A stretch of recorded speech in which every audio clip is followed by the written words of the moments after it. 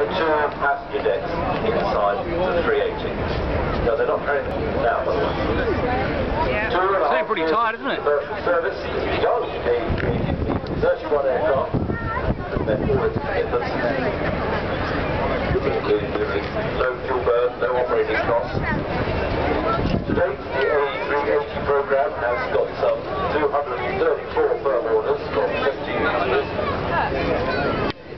17 customers rather. Seating capacity, well it really depends on what you want as a customer, I suppose. Seating capacity from none to 400 to 800 passengers. Now fast, majestically from the left, the left of the train area. 380 is an essential part of the solution to sustainable growth. Four was next.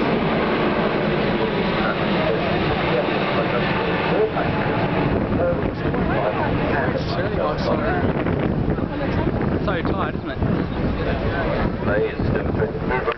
highlights ease of the 380 can be flown. Indeed, pilots say that despite its size, the A380 is extremely easy to fly, mainly due to its fly-by-wire system, which is the same as it is for most of the other Airbus aircraft. In only a couple of weeks to convert from the 320 or the 330, 340 family to fly this, the largest airliner in the world. Yeah.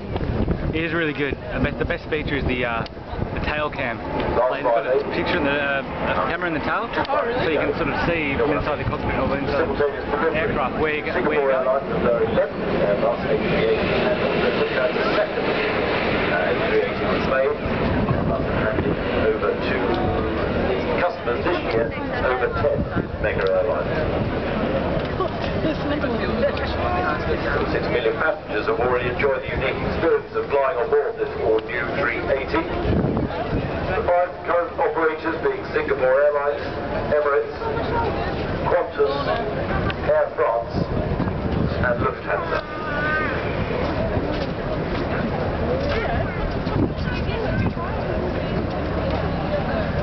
Engines can be Rolls-Royce Trent engines, the Trent 900, or the Engine Alliance GP7200s.